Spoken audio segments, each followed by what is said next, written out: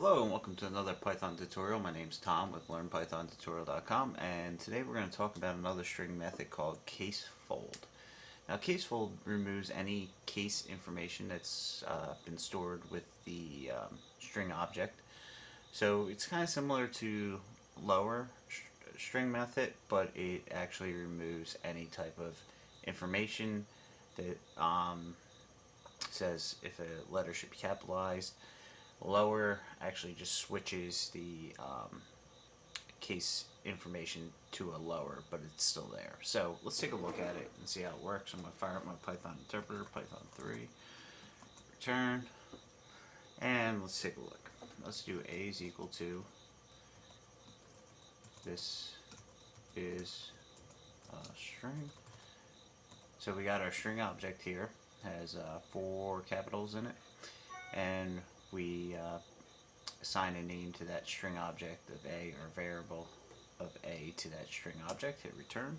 Then we're going to do A period casefold, and this is the string method itself.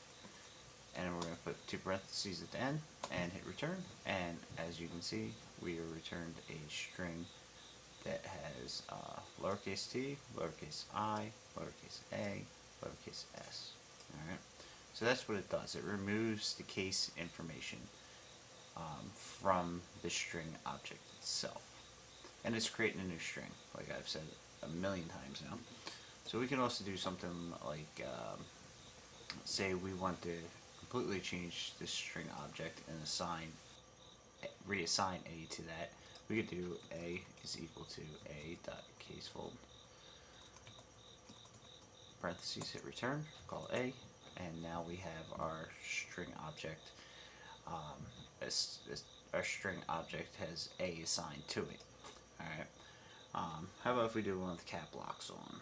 Let's do, uh, first off, let's do C is equal to, I'll put cap locks on.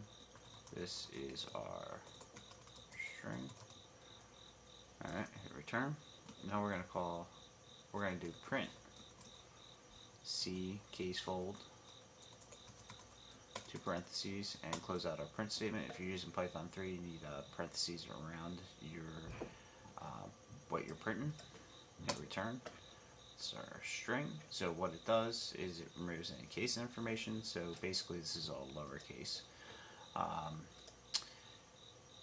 if you have any questions about the casefold string method, you can leave us a comment on YouTube or on our website at learnpythontutorial.com. Don't forget to subscribe and like the video. Have a nice day.